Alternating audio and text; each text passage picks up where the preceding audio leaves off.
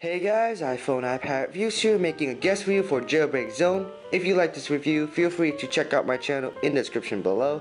So today I have a Cydia tweak for you guys called Remove Background and it is 100% free in the Cydia store. Just go to the search tab and search for Remove Background.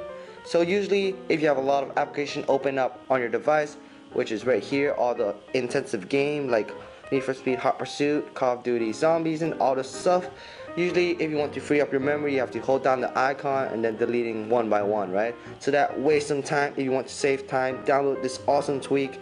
When you download it, you have this icon right here, remove BG.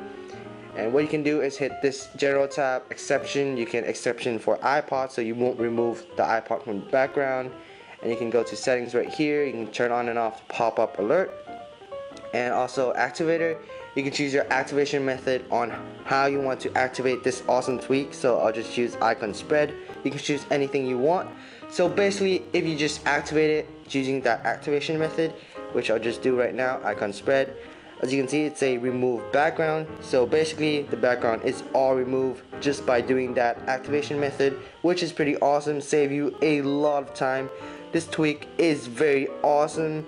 So that's pretty much it guys. It's called Remove Background free in the Cydia store. If you like this review, feel free to check out my channel in the description below.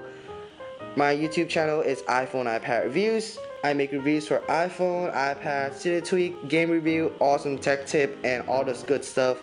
Please visit my channel. And that's pretty much it guys. I hope you enjoyed this video. Thanks for watching, and I'll see you later.